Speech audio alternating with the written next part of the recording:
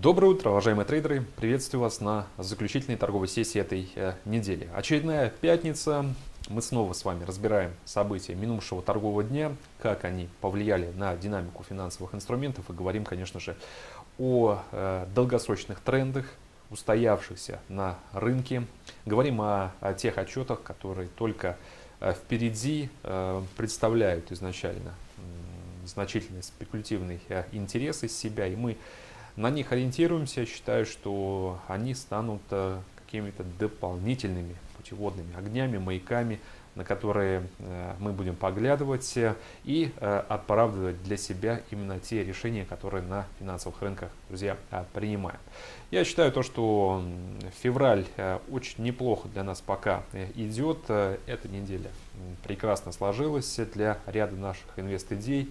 Мы выжили из нефтянки то, что планировали, мы сделали, друзья, заветную цель, краткосрочную, ну или лучше даже скажем среднесрочную а, цель 65. Я надеюсь, друзья, то, что большинство из вас все-таки уже а, зафиксировали результаты. А, те, кто будет ждать уровень повыше, знаете, друзья, я с вами. Я считаю, что на краткосрочном импульсе, на том именно росте, который уже стал реализовываться в последние дни, нефтянка может забраться и э, повыше. Тем более, что основной фундамент э, в последние дни, толкающий ее, собственно, к уровням, на которых она не была очень давно, этот фундамент все еще актуален. Он связан с переговорами между США и Китаем. Так вот, мы ждали делегацию серьезную США, которая должна была прибыть в Пекин Вчера, собственно, прилетели, сегодня состоятся переговоры, поэтому в течение дня нас могут порадовать новостями. Ну уж точно закроем мы эту торговую сессию с интересным фундаментом. Допускаю, что его потенциал будет преимущественно отрабатываться уже на открытии следующей э, недели. Ну, э, поговорим уже о том, договорятся либо не договорятся, будут ли предпосылки у нас э, разделить мнение оптимистов, считающих, что США и Китай все же преодолеют торговые разногласия. Это все, друзья, новостной фон следующей недели, поэтому давайте, пока мы его не будем касаться, а поваримся здесь и сейчас с тем, что есть в порядке вот этих вот э, ожиданий. Э, по другим инструментам доллар нас э, начал немного разочаровывать, улетел выше 111, хотя сейчас мы снова неплохо откатили, там в район 110-30, пока держимся там с учетом тех цифр, которые мы получили вчера по а, статистике, а именно по розничным продажам, я а, думаю, что рынок эм, снова напомнил э, тем трейдерам, которые еще сомневаются в э, более э, медленных темпах повышения процентной ставки, сомневаются в том, что американская экономика также потеряла импульс, в том, что это так. И если среди вас были трейдеры, которые делали ставку на доллар, то я полагаю, что после вчерашних данных по розничным продажам вы, э, возможно, уже пересмотрели свою позицию и свое видение относительно того, что будет э, с долларом. Евро у нас снижается, друзья, по фунту. Мы также сделали цель, я немножко труханул, э, сейчас жалею о том, что вышел э, не на уровне отсливых ожиданий в районе отметки 1.28, ну 1.2850, друзья, тоже неплохое значение, очень сильно радуюсь за вас, за тех, кто додержал до отметки 1.28 мы пофиксился уже там. Минимум у нас был гораздо а, ниже. Ну, давайте тогда не будем сейчас а, растекаться вот так вот сразу по всем инструментам. У нас есть сценарий, друзья, мы с ним а, работаем. Я вернусь сейчас к этим активам. Напомню, что сегодня у нас традиционная для пятницы насыщенная по содержанию экономического Э, календаря сессия. Мы ждем данные по розничным продажам Англии в 12.30 по московскому времени они выйдут. Статистика влияет на фунт в последние недели, ну, потому что рынок устал уже не получать никакой конкретики по Брекзиту и торговать-то хочется британцам. Вот и снова делают акцент на статистику и на эм, идею того, что будет происходить с процентными ставками в рамках Англии э, э, дальше. Ждем э, релиз, разумеется, друзья, я надеюсь, не нужно делать какой-то акцент на то, что у нас ожидания только лишь слабые, ну, потому что других цифр мы вряд ли увидим. И я даже считаю, что если непонятным, немыслимым образом розничные продажи окажутся лучше ожиданий, это сразу можно будет списывать на статистическую ошибку, потому что с учетом того, что сейчас происходит в британской экономике, мы не можем получить хорошие цифры. В 17.15 промпроизводство по штатам, э, в 18.00 Мичиганский индекс э, и замыкает день будет традиционный для нефтяников отчет Бейкер Хьюз по количеству нефтяных терминалов. И теперь давайте детализируем немного фундаментальную картину на нефтянку. Сразу, друзья, как я уже отметил, мы сделали цель, неважно где нефть находится сейчас, главное, что мы достигли нашего профильного ориентира. Я думаю, то, что это подарок для а, тех, кто долго ждал. Хорошо, что это произошло. Вот сейчас, а, перед закрытием недели, можем спокойно уйти на выходные, как следует отдохнуть, не переживать уже за то, где откроется нефть с учетом интересного фундамента, потому что нас это уже не интересует, друзья. Мы поставили цель, мы эту цель сделали. На следующей неделе будут новые сделки, будут новые уровни. Сегодня я предлагаю отдыхать от рынка нефти, э, параллельно э, лишь наблюдая со стороны за тем, что с ним происходит. А почему мы выросли, еще раз повторяюсь, друзья, то, что на общей склонности инвесторов к риску, спросом стала пользоваться нефтянка. Произошло это из-за ожидания прорыва в торговых отношениях, прогресса в о переговорах между США и Китаем. Этот прогресс может быть констатирован уже сегодня.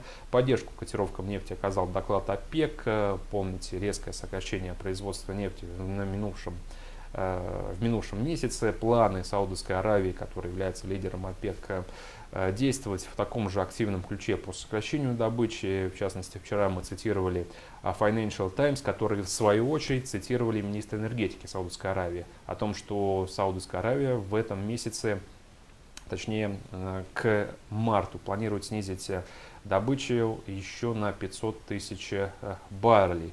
Это, конечно же, вернуло на рынок ожидания того, что ОПЕК Э, сможет стабилизировать э, ценовую конъюнктуру, сможет решить проблему избытка предложений и простимулировать рост цен на нефть. Если мы говорим про ожидание прорыва э, в переговорах между США и Китаем, значит мы априори допускаем, что при оптимистичном развитии событий с рынка будет убран риск глобального экономического а, спада. Также вчера еще вышел отчет, э, точнее позавчера, по запасам нефти США.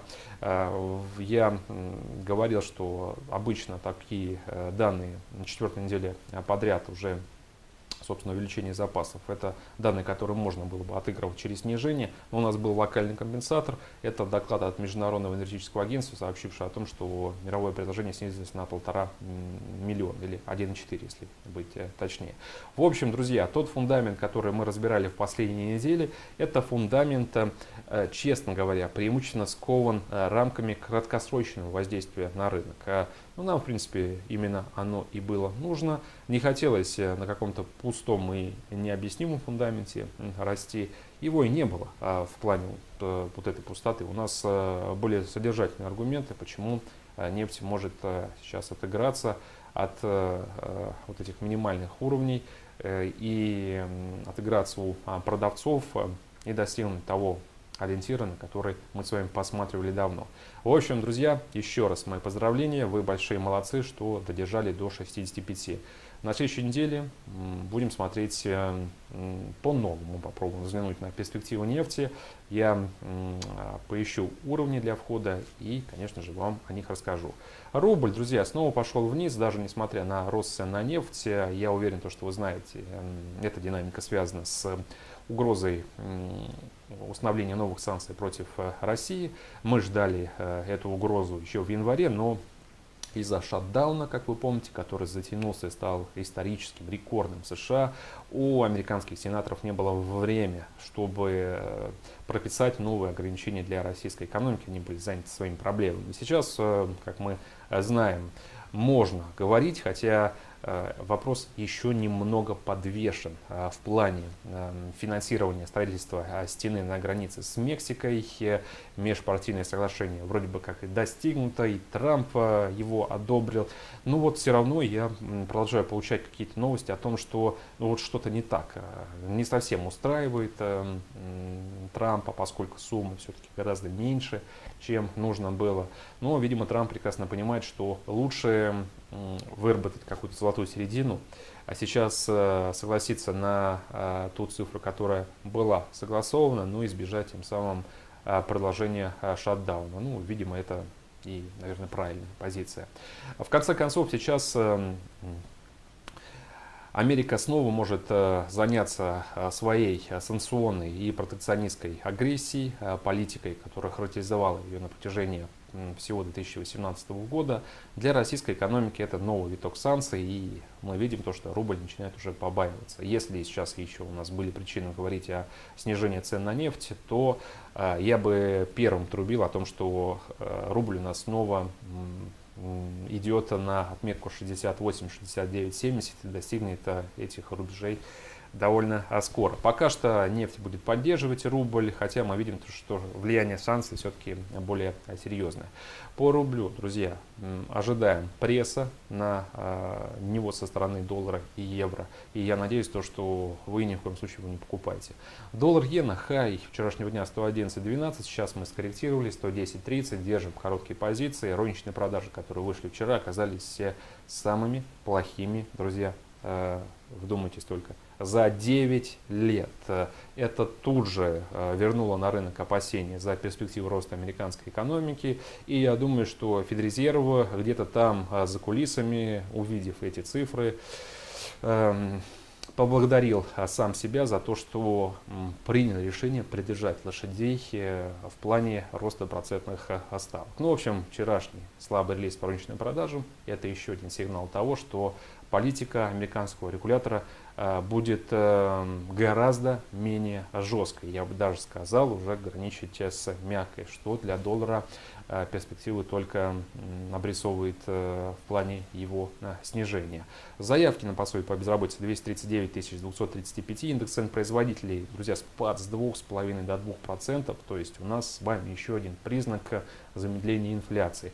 Поэтому на доллар я смотрю только как на актив, который потеряет в ближайшее э, время и жду, как и раньше, его в районе там 107 или даже э, ниже. Евро против доллара снижается 1.1285, темп экономического роста Германии в принципе в соответствии с моими негативными ожиданиями. Нулевой прирост в квартальном выражении, прогноз был на отметке 0,1%, годовой а показатель 0,6-0,9. Хуже будет еще дальше, друзья. А, и я а, продолжаю делать на это большой акцент. Темп экономического роста всей еврозоны в целом предварительный, ну пока на нормальных уровнях, там 1,2 процентов в годовом выражении, хотя что для еврозоны сейчас нормальность? Мне кажется, 1,2 для такой экономики это показатель э, явно который нельзя охарактеризовать как достойный. Но видим то, что видим, друзья, реальные цифры будут еще ниже, запомните мои слова. Я не отказываюсь от тотальной слабости еврозоны, и все это в конце концов конвертируется в те отчеты, которые мы получаем. Фунт против доллара, low 1.2772, вышли мы из сделок, друзья. Я а, пока что советую не залазить в фунт, лишь поставить отложку limit на отметке 1.2750, потому что Допускаю, что рынок еще может провалиться. Опять же, сегодня, когда выйдут слабые данные по розничным продажам, давление вполне э, реально. Потому что еще один слабый отчет э, заставит э, Банк Англии э, рассматривать перспективу повышения процентной ставки как э, несбыточную, поскольку текущая экономическая конъюнктура, напротив, должна мотивировать Банк Англии, возможно, занять более проактивную позицию, даже снизить процентную ставку. В общем, вчера от Банка Англии мы слышали подобного рода комментарии, то, что, конечно же, ставки повышены не будут, потому что это создаст серьезное Э, ударит очень сильно по домохозяйствам и потребителям. И это, в принципе, отразилось на снижении курса британца. Но напоминаю, друзья, то, что мы с вами ждем такого важного голосования по ряду поправок. Мы ждем выступления Терезы Мэй, которое запланировано в конце этого месяца. А сейчас э, рынок может вдохновиться ожиданиями того, что само решение отложить голосование на две недели – это, возможно, решение, которое продиктовано тем, что у Терезы Мэй есть план, и она за эти две недели что-то попробует снова сделать. Ну, немного а, смешно это звучит, потому что, наверное, не стоит переоценивать способности Терезы Мэй. Я думаю, что а, на самом деле перенос сроков обусловлен тем, что у нее не план есть, а просто, как я уже говорил, она хочет буквально перед самим официальным выходом Англии состава ЕС поставить э, палату общин э, перед фактом. Либо голосуете, либо не голосуете. Либо вы эм, остаетесь в истории как люди, которые предотвратили экономический кризис, либо вы будете теми политиками, которые ввергли экономику в состояние хаоса. Вот, мне кажется, какой диалог будет. Но пока что, друзья, рынок может жить надеждами, как это обычно бывает. Э, я считаю, что раз мы выжили в плане снижения с фунта так неплохо, можно попробовать сейчас заработать через рост именно в случае теста поддержки 1.2750 купить в расчете на то, что две недели рынок будет э, э, полагать, что Тереза э, Мэй сделает что-то, что в конце концов повысит шансы на мягкий Брекзит. А уже после голосования, уже в марте, друзья, я думаю, мы снова вернемся к продажам и правильно сделаем. Доллар канадец 1.3302, это максимум для пары за последние три недели. Э, парадоксальная динамика канадца. Вчера все было у него, чтобы вырасти. Доллар снижался, нефть росла, но при этом сами видите, комментарии излишние. Да, у меня есть позиция, объяснение того, что произошло. Скорее всего, э, раз э, канадский экспорт очень сильно завязан на отношениях с США, та же самая нефтянка на 70% уходит именно в Штаты, то, наверное, слабые данные по американской экономике, они более слабые для Канады. Потому что если проблемы со спросом будут в США, значит проблемы с экспортом будут у Канады. А, может быть такая логика. Ну, я не собираюсь искать, опять же, причины. Я знаю, что канадец бесит многих. Э, я не торгую уже неделю, друзья, и вы знаете, даже лучше стал спать. Э, то, что мне не интересно, что происходит с этим инструментом. Да, он э, стал причиной потерь и э, довольно неплохих, в том числе и в этом году, но пока что я от него отдыхаю. Друзья, если у вас по-прежнему получается вот ловить все эти перекосы дневные, видим то, что по дневкам пара на 100 пунктов уходит вниз, на 100 пунктов вверх, и вот эти качели продолжаются. Вы большие а, молодцы. Австралиец против доллара 0,7092. Снижаемся мы по австралийцу, цель 0,70. Заместитель управляющего резервного банка Австралии Кент а, вчера отметил, что снижение курса австралийца это благо для экономики, мы об этом знали, но вот а, еще один комментарий чиновника убедил трейдеров все-таки не торопиться с покупками и вообще не думать о них, а продавать. Я надеюсь, то, что вы в продажах. Новозеландец также немного снизился, 0,6823. Друзья, на этом, собственно, все. Хорошей вам торговой сессии, закрытия недели, замечательных выходных, отдохните.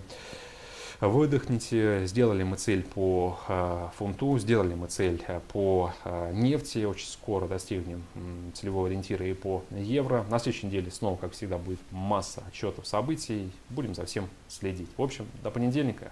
Всего доброго, до свидания.